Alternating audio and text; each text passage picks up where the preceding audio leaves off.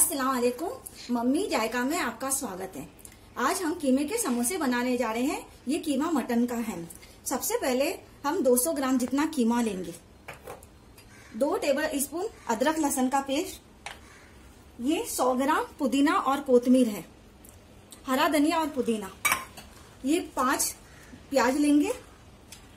एक tablespoon chilli flakes. एक teaspoon नमक। एक टीस्पून गरम मसाला। और आठ से दस हरी मिर्च। सबसे पहले हम गैस को ऑन करेंगे।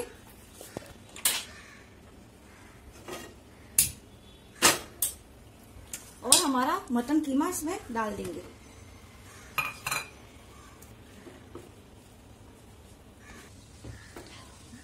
अब हम इसमें अदरक लहसुन का पेस्ट डालेंगे।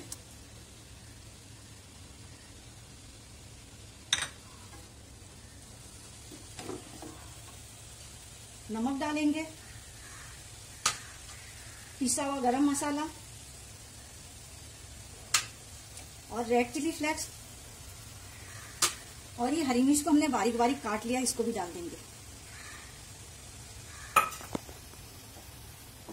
हम इसको बराबर से मिक्स करेंगे। डालेंगे। और 10 से 15 मिनट के लिए इसको हम कुक करने के लिए, कुक होने के लिए रख देंगे। एक छोटी कटोरी पानी डाल के 10 से 15 गैस लो करेंगे। इसकी स्टफिंग की तैयारी कर लेते हैं। सबसे पहले हम प्याज को रफली चॉप करेंगे।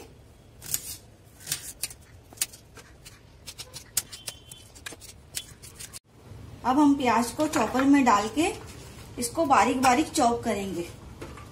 प्याज एकदम बारीक चॉप होनी चाहिए। पुदीना डालेंगे।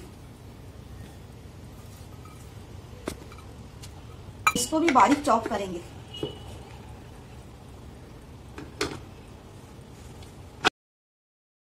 ये देखिए, हमारी प्याज और पुदीना और हरा धनिया चॉप हो चुका है। अब हम इसको प्लेट में निकाल लेंगे। ये कीमा हमारा हो चुका है। अब हम इसका पूरा पानी सुखा लेंगे। फ्लेम को तेज कर देंगे। इसमें पानी बिल्कुल नहीं रहना चाहिए। अब हम गैस का फ्लेम ऑफ़ कर देंगे।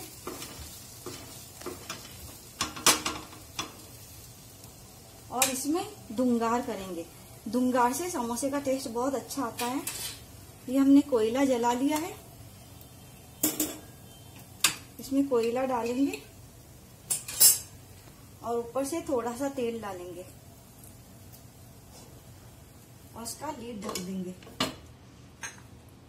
अब जब तक ये हमारा पुदीना गोदमे और प्याज चॉप हो चुकी है, अब हम इसका सारा पानी निकाल लेंगे।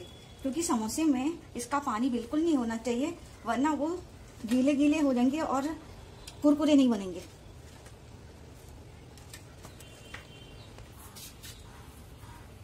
ये देखिए, इसका हमने सारा पानी इस तरह से दबा के निकाल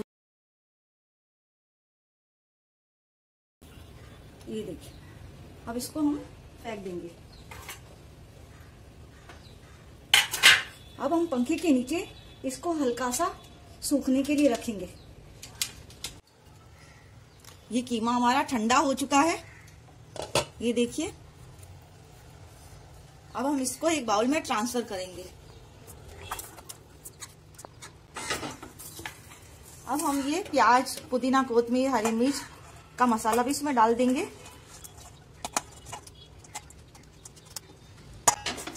और इसको अच्छे से मिक्स करेंगे। ये देखिए, मसाला हमारा अच्छे से मिक्स हो चुका है। अब हम थोड़ा सूखा मैदा लेंगे। इसमें पानी डाल के इसकी लई तैयार करेंगे।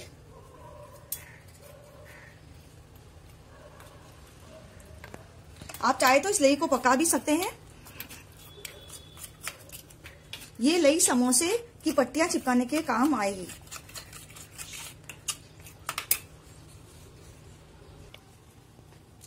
अब हम समोसे की पट्टियाँ लेंगे और इसको फोल्ड करेंगे।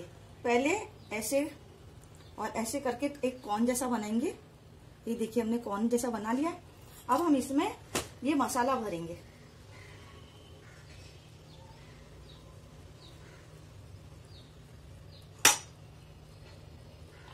अब यहाँ पर अंगूठा रख के इसको यहाँ से ऐसे बंद करेंगे।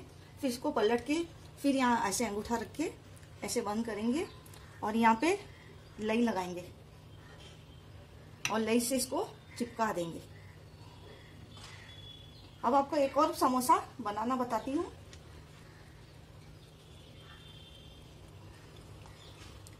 पहले ऐसे करेंगे, फिर इसको ऐसा करके, जैसे मेहंदी का कौन होता है, वैसा कौन बनाएँगे।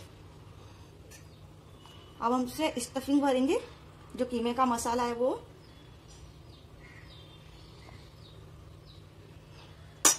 अब यहाँ से अंगूठा रख के ऐसे फोल्ड करेंगे, फिर यहाँ पर भी अंगूठा रख के ऐसे फोल्ड करेंगे। और यहाँ पे मैदे की जो हमने लई बनाई है, वो लगाएँगे और इसको यहाँ से चिपका देंगे। इसी तरह से हम सारे समोसों को तैयार कर लेंगे। से बना लिए हैं। हम गैस ऑन करेंगे। अब हम इसमें ऑयल डालेंगे।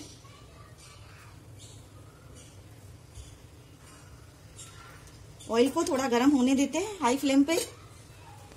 देखिए, तेल हमारा गर्म हो चुका है। अब हम समोसे डालेंगे। इसको हम लो से मीडियम फ्लेम पर ही तलेंगे। अगर हाई फ्लेम पर तलेंगे तो ये अंदर से कच्चे रह जाएँगे।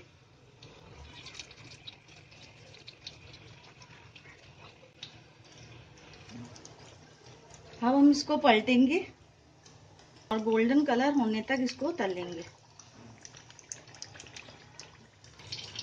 ये देखिए समोसे हमारे गोल्डन ब्राउन हो चुके हैं। अब हम इसे प्लेट में निकाल लेंगे।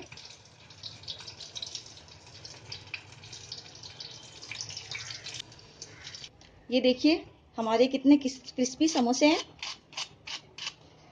इसको हम काट के दिखाते हैं।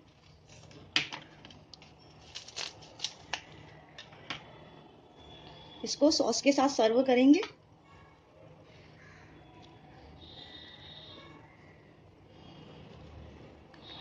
देखिए कितने क्रिस्पी है।